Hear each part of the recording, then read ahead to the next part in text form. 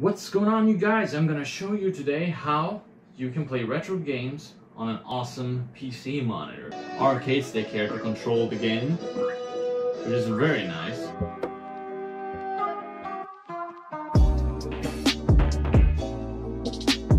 Today I will share to you guys what you will get becoming a member. By becoming a member, you will support my future content on this channel. It will really help a lot. It doesn't matter how much you donate, every single dollar counts. Level 1. Zero, $99. No matter what you choose, you will get these custom and depending on how long you've been a member. Well, you will get these following emojis. These are the base emojis that will always be here. If you guys have any suggestions for new emojis, make sure to message me on Discord or any other social media you can think of. First one is the GG emoji, of course, very essential. The next one is the Uno reverse emoji, a suggestion by a member previous. And of course you always need the F in the chat emoji when someone fails. I decided to add a thank you emoji. This might change in the future, I'm not sure. I hope you guys consider these perks, and I hope you guys stay awesome. This monitor supports 70, 75 hertz. You, most games can't play that high, but it looks really nice. That's the one thing that matters. And I'm currently using this uh, adapter here. I will show you close-ups of it in the video, but it's basically a composite or S-video to VGA converter. This might not be the best quality in the world, but it's the most lag-free quality in the world. I'm thinking about buying more of these and making like a gaming cafe in the future because we don't have that. We don't have any retro games here on any retro game stores here, which kind of sucks. But anyway, I'm gonna show you guys how this works and uh, let me show you guys how it works here. Just boot the monitor. There you go. Got an arcade stick here to control the game, which is very nice. You're gonna see some close-ups of this. Uh, I would play the game, but currently I'm turned around, so I need to probably change my position here to show you guys in the end of the video. But I'm gonna show you guys how you can set up this to play on a monitor. And the good thing is, if you have a monitor that has speakers for it, that will be even better. I recommend that. It needs to be a 4x3 monitor to make make sure it works with the uh, aspect ratio of a N64. You might be asking, how do I capture gameplay by playing on a monitor like this? Well, you can, actually. If you're using composite or S-video, you can convert it to a SCART signal, which is really good. And there's a other thing I have here. Let me just grab it. This thing right here. This, you put plug in SCART. Uh, you can get SCART, uh, a composite to SCART if you don't have the composite, uh, the SCART cable, basically and it goes to HDMI and you have an audio output right here if you want to use headphones instead of the speakers on the monitor. You can decide to turn out off the sound on the monitor if you have that. This one can choose 1080p or 720p and it's really good if you have a 4x3 monitor so you don't have to do anything, any editing on it. It will be widescreen in the capture though. Yes, wait, now I'm going to turn this off. It doesn't disturb. Yeah, speakers turn off. So this is uh, something I want to show you guys at the end of this video, of course, as well. Uh, I'm going to show you how to set up this uh, the way I found. Because uh, this monitor also has DVI, which is a really good HDMI uh, converter thing. Uh, you have to make sure that you, well I guess you have this, so you can just get audio from this if you want to have audio in headphones or whatever you're using to play video games, like a speaker. In this case I could just plug the speakers from, I guess the audio from like right here, like right into it and then the speakers will play the sound. That simple as that. It's very nice. Today I will show you how to play retro games on the following monitor. If you don't have this monitor, it doesn't really matter. It's just a really efficient monitor that you can use for your video uh, gaming. this is the console I'll be using. Of course, it doesn't matter what console you use. This is just to show that you can play old school games with good quality on a simple monitor. Unfortunately, I don't have the S-Video, but that doesn't really matter. You can play these games if you're enough distance without being bothered by the low quality image with just the composite. For this video, I will be using this simple, very awesome looking composite S-Video and uh, VGA plugs. The best thing about this thing is you can plug in your retro systems to this and you can also plug in a PC because it's got settings for PC, picture in picture, reset, mode, menu, and yeah, picture in picture. What that actually means is this is gonna be pretty cool. You'll be able to show like your PC as, at the same time as you're playing your retro system so you can essentially watch videos while playing retro games right away. I love that part. So you can put it in a corner of the video, of course. And also, I almost forgot to tell you guys, this power plug right here, I think you can see it on here, it needs to be 5 volts. These are not too hard to come by, so you guys should be able to find the 5 volt power supply. You can see the, the, the width of this. I'm not sure exactly how big it is, but uh, I'll show you the power supply after this. Whenever I plug it all up. You will also need one of these. Uh, this is a composite or uh, the so-called RCA to the 3.5 millimeter jack so you can plug in the speakers that I have for the current monitor I'm gonna use for this. I hope you guys have the same monitor that's gonna make this way better and they go for not too expensive on eBay so you could probably buy them there. I will provide links for the monitor in the description if I find any. Of course, it might change. But this is the reason why you need this, because you can plug the speakers on the actual monitor. First of all, we need to plug in this monitor. I want to show you guys what this monitor can do. I should have cleaned it, I know. But if you look at the back right here, you got the audio cable plug right there. You also have some stuff. I'm gonna put.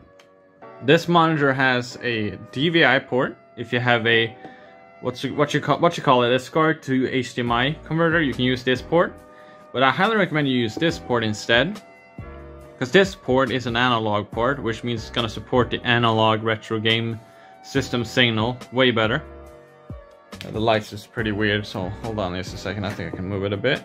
You can see the VGA port right there. Cool thing about this monitor is a lot of things. I'm just gonna put it back up again. This one actually comes with a back panel, so you can cover up all those cables, which is pretty neat. I'm probably gonna sand this down so it's matte finish, but uh, it's pretty dirty, I know. I haven't used this monitor in, since the last video I made, I'm pretty sure. So that's the reason why. I didn't show this part in the other video because uh, I didn't want you guys to be bothered with that, but I want to show every single step of the way there. So, of course, VGA cable you plug into back port. See if I can do this one-handed. I might have to. All right, so we got the VGA cable plugged in there, and there's like an awesome cable management system here where you can manage your cables so they stick out through the back. Same with the power plug. I'm pretty sure you can also fit the audio cable here, but you don't have to, of course. But it's if you want it more organized. Let me bring you the audio cable. You will need a two, uh, like two-way cable. Very simple, very simple. You plug in the audio cable right in the back here to get the audio for the game, of course. Then you put the audio cable in this cable management. It's better if you, if you put the uh, audio cable first. let's do it like that. It's best if you put...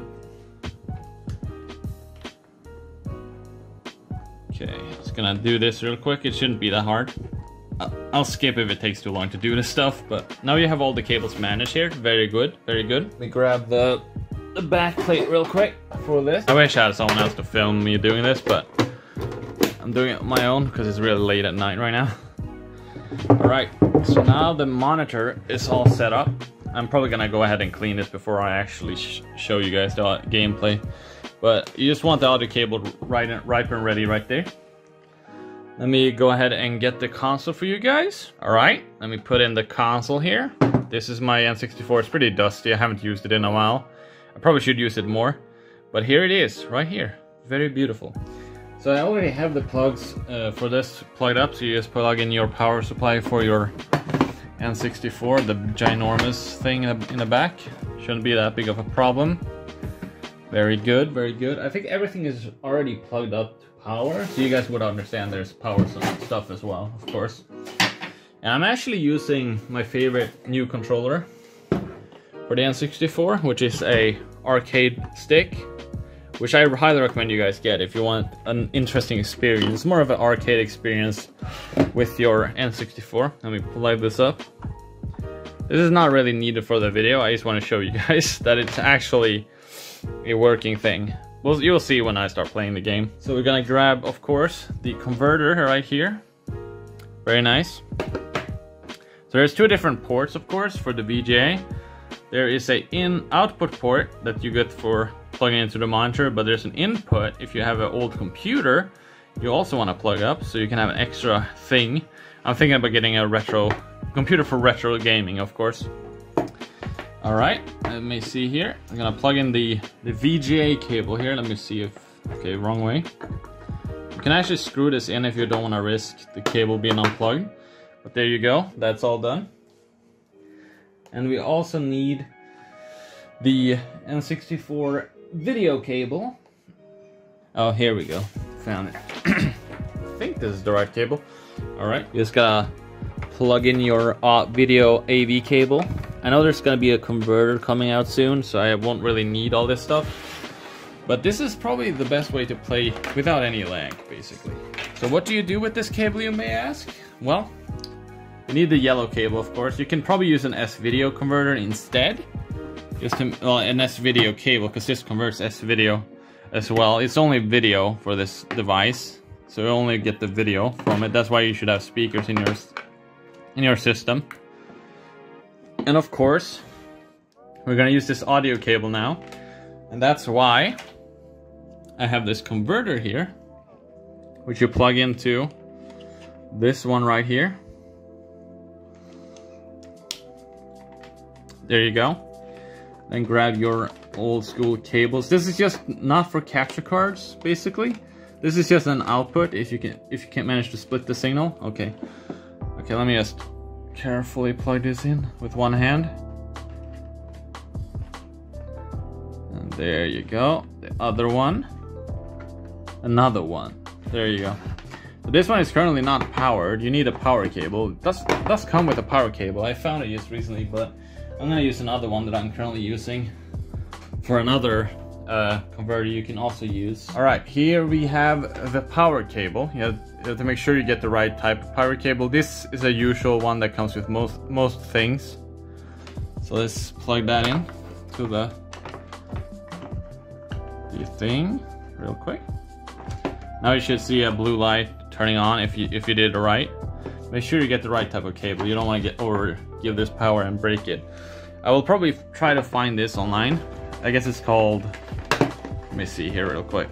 It's called a, a video to VGA converter, basically. So you can convert your signals and stuff. Very good, very good.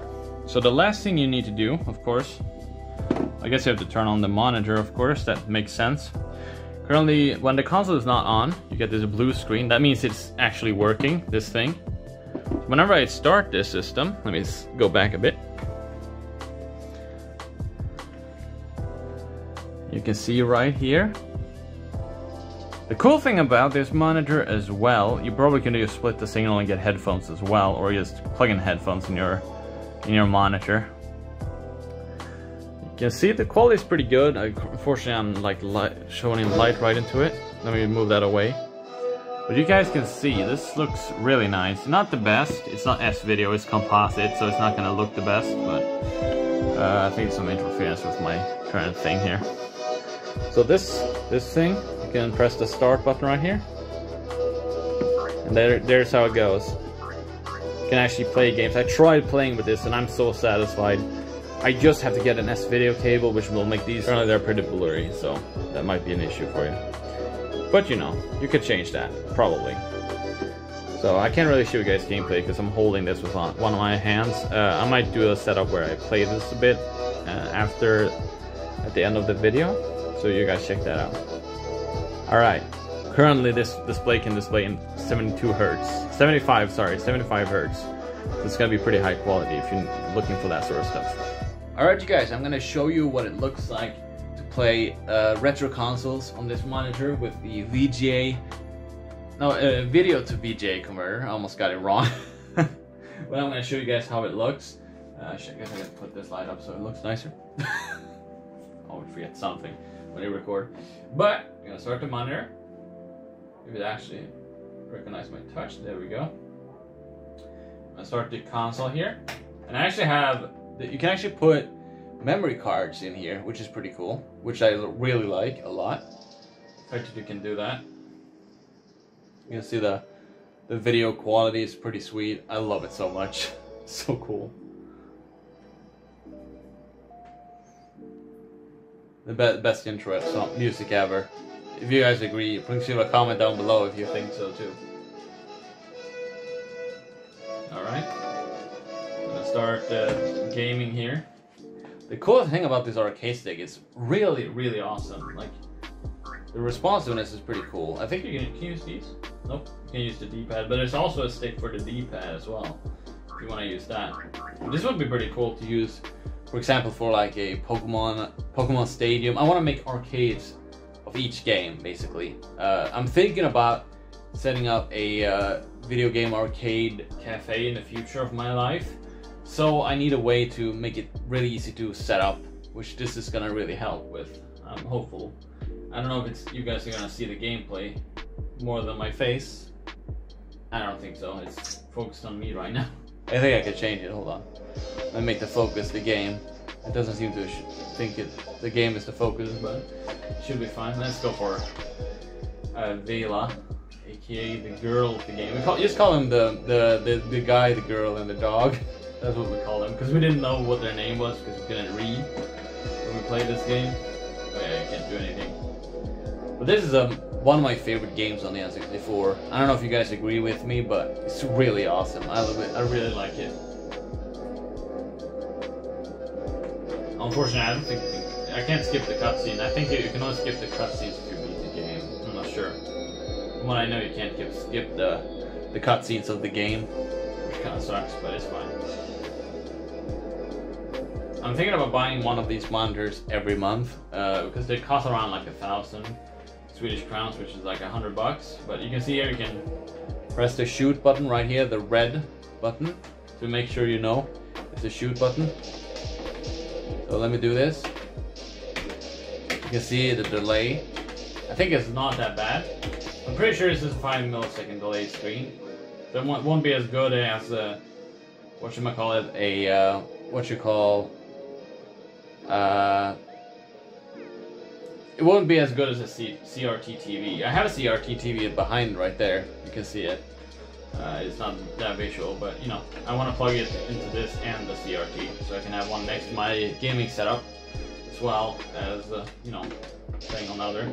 I just need to get the S video, of course. It's really required to have S video if you want to do this sort of stuff to make it not as laggy. I can't, I can't wait for that to happen whenever I get that. That's gonna be pretty cool. So I'm gonna use this angle as well to show you the other setup you can do.